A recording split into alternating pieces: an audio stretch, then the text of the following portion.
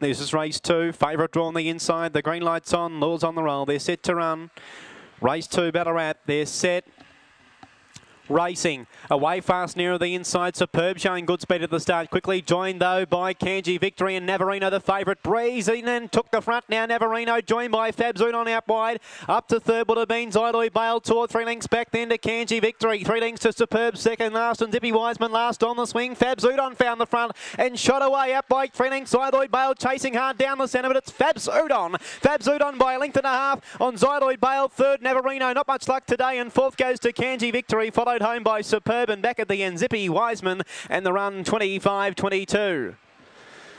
Too good number seven Fab Zudon. It was a real hustle for the lead in the first 100 metres and Fab Zudon had plenty of air out wide to use plenty of the track and cross them at the start. And once he found the front, he was not for catching and the seven wins. Seven, four, one, and the fourth number about to be confirmed. It'll be 7, 4, 1 and 3. 7, 4, 1 and 3 on race 2. 25, 21 the run. 6.59 first split. 11, 28 the second. And 13.93 the